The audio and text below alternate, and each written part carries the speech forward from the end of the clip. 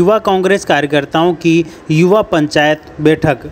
भारतीय युवा कांग्रेस के youth policy and research department के राजस्थान प्रदेश संयोजक अभिषेक बिश्नोई राजसमंद ज़िले के दौरे पर रहे।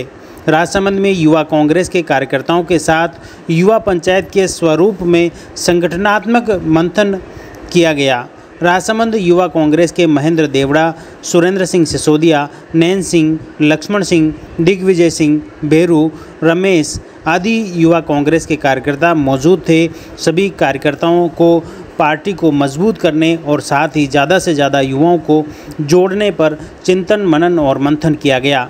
अब देखिए, राजसमंद पहुँचे प्रदेश संयोजक अभिषेक विश्नोई। क्या कुछ बोले? जी सर, आपका नाम?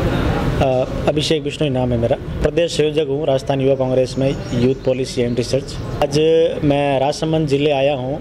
जो भी हमारे युवा कांग्रेस के सक्रिय वॉल्टियर है, उनसे मिलने का सौभाग्य हुआ और जिन भी मुद्दों पर युवा कांग्रेस, चाहे अग्निवीर हो, चाहे नीट लीक का मुद्दा हो, चाहे देश में बढ़ती हुई बेरोजगारी हो जो हमारे राष्ट्रीय अध्यक्ष श्रीनिवास जी के नेतृत्व में प्रदेश अध्यक्ष अभिमन्यु जी के नेतृत्व में जगह जगह युवा कांग्रेस ने आंदोलन किए हैं और युवाओं की आवाज़ को बुलंद किया है। इसी के संदर्भ में अ, मेरे जो राजसमंद के युवा साथी है उनको और सक्रिय करने और युवाओं की विचारधारा को और मज़बूत करने के लिए हम लोग यहाँ बैठे आज और आप देख सकते हो कि सब युवा साथी यहाँ आए हैं और आगे राजसमंद में संगठन को किस तरह मज़बूत किया जाए इनके मैंने विचार सुने और जो भी इनके विचार है मैं जो भी युवा कांग्रेस हाईकमान है उन तक पहुंचाऊँगा। इस संदर्भ में आज की मीटिंग थी। हर संगठन में कुछ ना कुछ कमज़ोरी होती है। किसी समय पे आ, वो बातचीत हो नहीं पाती है। जो व्यक्ति धरातल पे काम करता है जो आला कमान होता है उनके बीच में कम्युनिकेशन टूट जाता है। लेकिन हर कोई एक विचारधारा से बंधा होता है।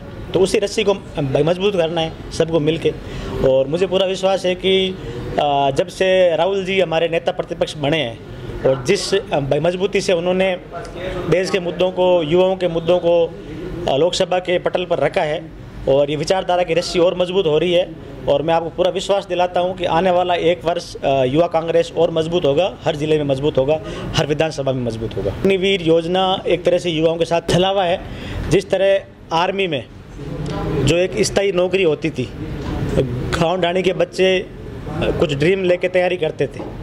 वो उनका सपना टूट गया है। अस्थायी नौकरी किसी भी आर्मी में नहीं होनी चाहिए। और जो भी अग्निवीर आज शहीद हो रहे हैं, उनको उचित मुआवजा नहीं मिल रहा। इसी मुद्दे को राहुल जी ने लोकसभा में भी उठाया था।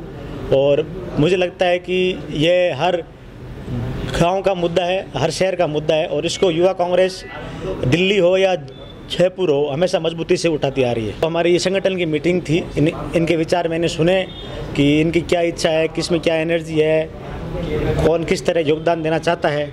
और यहाँ की जो भी रिपोर्ट होगी मैं राष्ट्रीय अध्यक्ष जी को और राजस्थान के अध्यक्ष जी को जाके सुपुर्द करूँगा कि राजस्थान ज़िले के संगठन के युवाओं के ये विचार है और इन विचारों पर अमल किया जाना चाहिए ताकि संगठन और सक्रिय हो सके।